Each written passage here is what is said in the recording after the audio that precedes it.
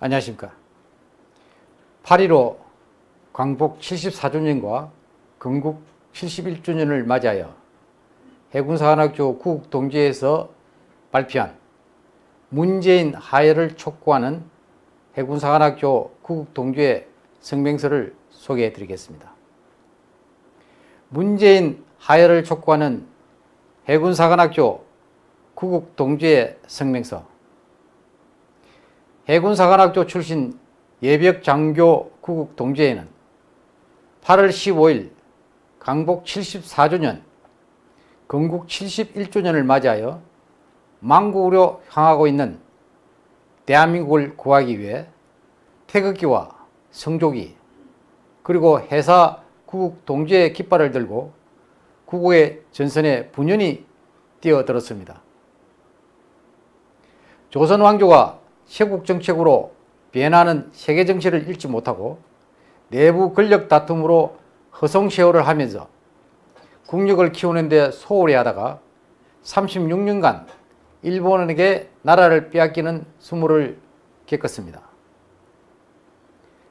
불행하게도 100년이 지난 오늘날 무능과 외교 참사로 나라를 빼앗긴 고종을 연상케 하는 지도자가 나타나 우리나라의 지정학적 위치와 국제관계에 대한 부지로 친중 반미 정책을 추구하여 국가를 위기로 몰아넣음으로써 국민들을 불안에 들게 하고 있습니다.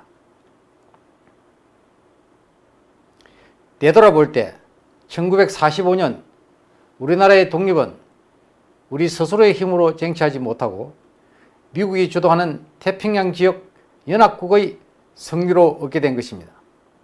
강복 이후 우리는 독립운동가였던 이승만 박사를 건국 대통령으로 선출했으며 그분은 자유민주주의와 시장경제체제를 선택하였고 6.25 전쟁을 치른 후에는 미국을 어렵게 설득하여 한미 상의, 상호 바위 조약을 체결하였습니다. 이후 박정희 대통령은 당군 이래 처음으로 국민들이 관한과 굶주림으로부터 탈피하는 한강의 기적을 일구어 전 세계를 놀라게 했습니다. 산업화를 일군 후 우리 대한민국은 시장경제를 중시하는 자유우파 정권들에 의해 선진국의 문턱까지 이르게 되었습니다. 이러한 경제 기적의 역사는 한미동맹이라는 굳건한 벨트가 우리의 안보를 뒷받침해 줬기 때문에 가능하였으며 이는 미국이 세계 질서를 유지하기 위해 추구하는 자유민주주의와 시장경제라는 핵심 가치에 부합하였기에 미국은 우리를 적극적으로 도와주었습니다. 현재 문재인 주사파 정권은 6.25 남침으로부터 최근까지 천안함 폭침, 연평도 포격, 목함질의 설치, 미사일 발사 등 무력 도발을 감행하고 있는 북한 집단을 주적, 주적 에서 배제시켰습니다. 또한 문재인 대통령은 김정은이 1년 내 핵무기를 폐기한다는 가짜뉴스로 국민들을 현혹시키면서 국회의 비준도 받지 않고 통치행위라는 미명하에 9.19 군사분야 남북합의서를 체결하여 방위태세를 스스로 무력화하는 망동을 저질렀습니다. 한편 북한 집단은 9.19 군사분야 합의서 체결 이후 핵무기 개발을 지속하고 신행 잠수함 건조, 신행 미사일 및 장사정포 시험 발사 등 무력 증강을 지속하고 있습니다. 9.19 군사분야 합의서는 헌법에 배치되면 물론 국민의 동의를 구하지 않은 권력 집단의 사문서 수준이기에 즉각 폐기해야 하며 문재인 대통령은 헌법을 위반한 여적죄에 해당하기에 그 죄값을 반드시 치르게 해야 합니다. 문재인 주사파 정권은 권력을 쟁취하자마자 헌법조항에서 자유를 삭제하려는 개헌 의도를 개헌 시도를 하였으며 역사에서 몰락한 사회주의 경제체제를 추구함으로써 지난 70년 동안 우리 국민들이 피땀 흘려 이룩한 세계 12위권의 경제 강국의 위상을 단 2년 만에 망가뜨렸습니다. 또한 소위 적폐청산이라는 미명하에 110여 명의 전 정부 인사들을 구속하는 등 공포정치를 자행하고 있으며 입법, 사법, 행정의 주요 포스트에 종북 전체주의자들을 대거 포진시켰고 민노총의 지배에 있는 다수의 언론은 정권에 부안해동하여 정권의 나파수 역할만 하고 있기에 정권에 대한 비판과 견제를 기대할 수 없는 현실이 되었습니다.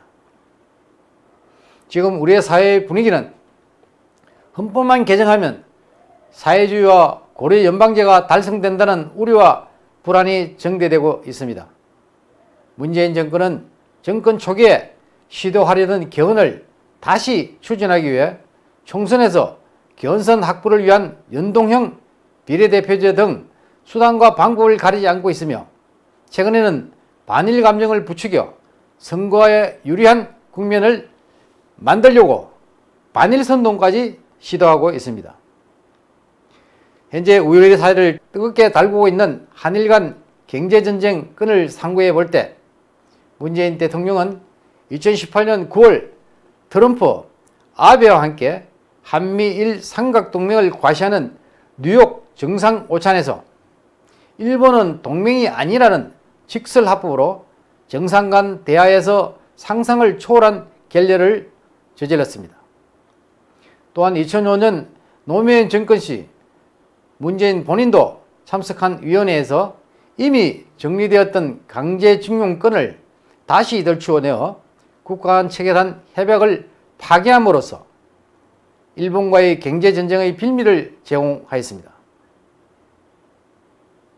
근자에 와서 한일 간 경제전쟁 진행 중에 문재인 대통령은 상류 12척을 언급하고 그 주고라는 자는 새 맹산이란 글 얻기의 깊은 뜻을 패매하는 가벼운 입놀림을 하고 있습니다.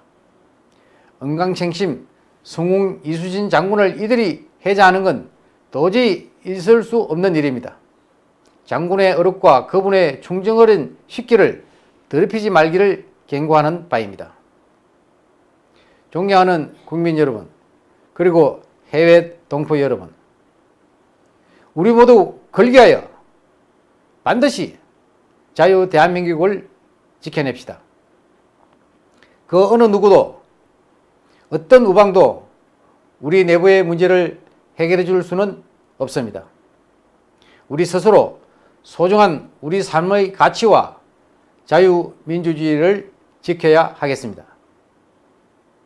이를 위해서는 문 정권을 하루빨리 퇴출시켜야만 우리 대한민국이 존립하고 지속적인 번영을 이어갈 수 있으며 우리 후대에게 이처럼 자랑스러운 자유 대한민국을 불러줄 수 있습니다.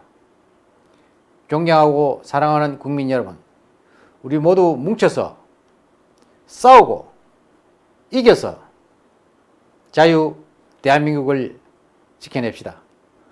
2019년 8월 15일 해군사관학교 구국 동지회 일동 감사합니다.